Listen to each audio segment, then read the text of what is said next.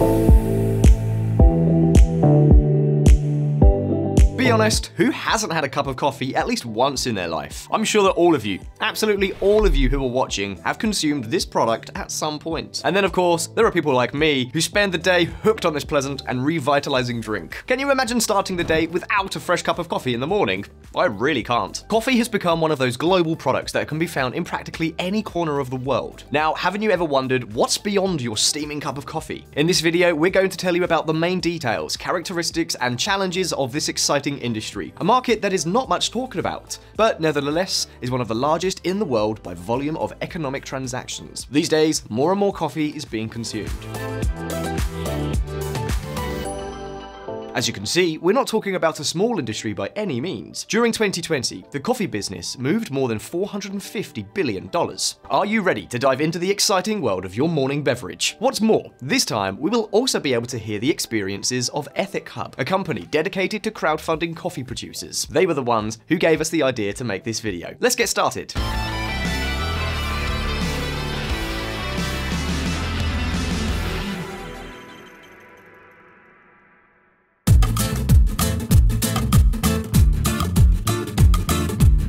The coffee industry is perhaps one of the least known of all the major industries in the world. For example, Latin America is home to 70% of the world's coffee bean production, while the six largest producers in the world are Brazil, Vietnam, Colombia, Indonesia, Honduras, and Ethiopia. Then, among the top 10 producers, we also find Peru, Guatemala, and Mexico. So far, no surprises, right? They are all low-income countries with significant pockets of poverty, mainly in the countryside. However, alongside Brazil, Colombia, and Vietnam, in the top six of the largest exporters, we also find Switzerland, Germany, and Italy. Is that something that strikes you? Exactly. In the coffee market, the biggest producers are not always the ones who earn the most money from coffee exports. And this despite the fact that coffee needs very specific climatic conditions, a certain type of soil, temperature, rainfall, or altitude above sea level. In other words, coffee is only grown where coffee can be grown, which should give producers a certain market power. But of course, in order to illustrate, we could say that the bag of coffee we buy in a supermarket would be something like the equivalent of a cotton t-shirt in a clothing store, while the coffee picked in Colombia would be like a cotton just out of the bud. And of course, for both products, there is an intense process of transformation and value addition. Also, there's the addition of marketing along the way. We'll see why this is important later, but first, let's take a look at the case of Switzerland.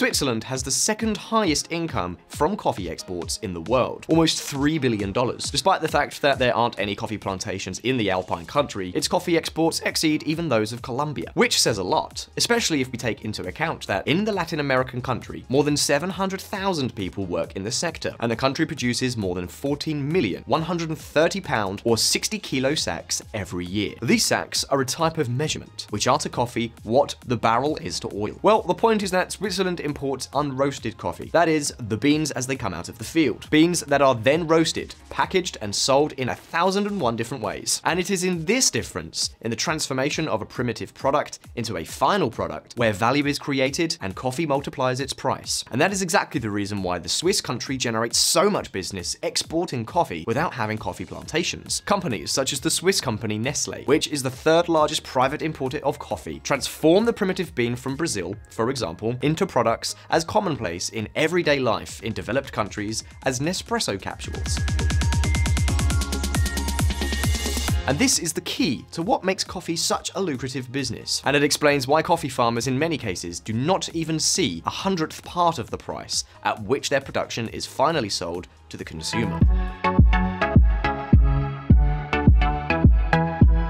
But before anyone starts blaming the evil capitalists who squeeze the farmers, the truth is that everything has an explanation. And behind the explanation, there are also possible solutions. To what extent do the producing countries profit from the enormous global coffee business? How is it possible that Switzerland has a coffee sector as large of that as Colombia itself in terms of turnover? Well, let's see. But first, let's meet our friends from EthicHub. Who wanted to support VisualPolitik and have project that has caught our attention. Note, when you finish watching this video, you will understand everything much better. And now, allow me to ask the first question. What exactly is Ethic Hub? Thank you, Josh. EthicHub is a very ambitious social impact startup using blockchain technology so anyone can finance small coffee producers with no access to the traditional financial system. For their lenders, good profit is not enough. They also want their money to be used to generate opportunities to improve the lives of the farmers through their own work. A true win win. How interesting, Gabriella. Personally, this kind of project sounds phenomenal to me. I love the idea of combining profit with development. But why do you think your model is better for the coffee industry? Traditional coffee markets are obsolete and monopolized by large companies not interested into improving the financing conditions of the farmers. So they live in poverty despite despite producing almost 80% of the world's coffee. EthicHub finance a shorter supply chain where every link adds value, so the final price of the coffee also benefits the producers. Well, in this video, we're going to explore all these issues. But Gabriella, there is one question that I have to ask. What are the advantages of backing EthicHub when it comes to investing? You can improve the world with your superpowers, your ability to decide where to spend or to invest your money. Together, we are proving a better economic system is possible, more sustainable, more inclusive, and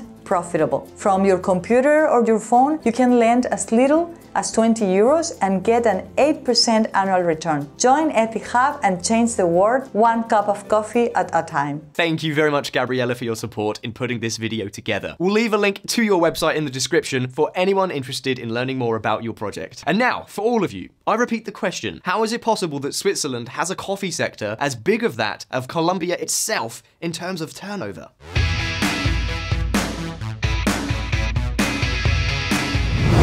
Coffee's footprints.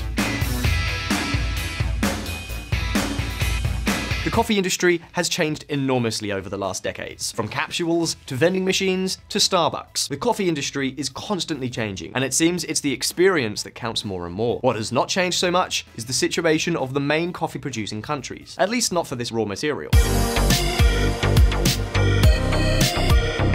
Coffee growing regions are still, in many cases, synonymous with underdevelopment. In concrete terms, we are talking about some 25 million small coffee producers, 80% of whom live below the poverty line. A billion dollar industry built on absolute poverty. For example, in Colombia, a country that exudes coffee from all sides, coffee exports barely account for 0.7% of its economy. And in Brazil, the world's largest producer, only 0.3%. In other words, coffee is more lucrative for the Swiss economy than for Colombia itself. That's crazy. But then the question is, what exactly is going on here? What problems do the producing countries have? Why are countries like Colombia, Honduras, and Brazil incapable of exploiting this enormous source of wealth? Well, we can mainly highlight three major obstacles. Firstly, there is the size of the producers. Between 70 and 80% of all the coffee produced in the world is produced by small farmers on small farms, small plantations. And this which at first sight may seem to many of you to be an irrelevant fact, and to others even a scenario that invokes activism and social romanticism, those small farmers getting ahead with their own hands, working the fields morning, noon, and night, is key to explaining why coffee is more lucrative in Switzerland than in Colombia.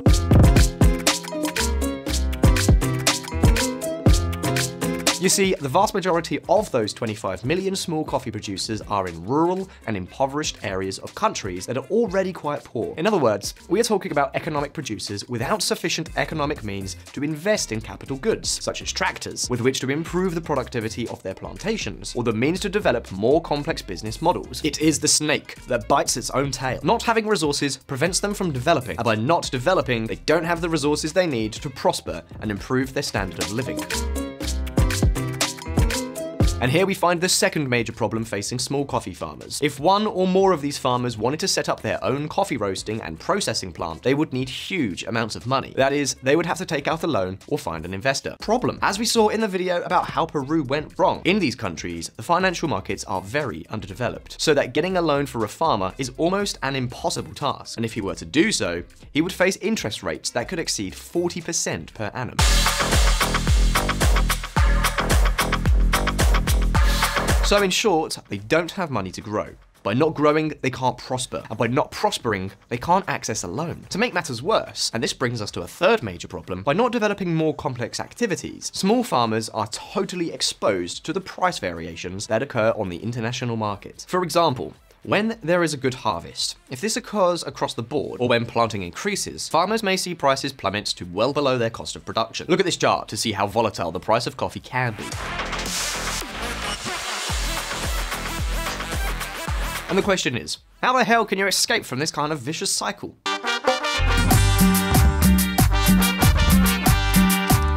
Well, here we could find at least two possibilities. One would be to encourage the grouping of coffee farmers into cooperatives, so that amongst themselves they could form a larger entity that would be able to more easily access technology, better trading arrangements, or finance. They could even support each other, if necessary. But of course, we are still talking about castles in the air. For these small farmers, who in many cases cannot read or write, it is not so easy to develop more complex organizations, and it also requires the participation of many producers. Producers who cannot always change their traditional activity because they live from day to day. If they sell to a buyer, they have to keep selling to him in order to be able to eat. It's a mess. On top of that, the big issue is not solved either. Just the process of forming business entities or cooperatives requires money. Along the same lines, in some countries, there are institutions that have tried to deal with this problem.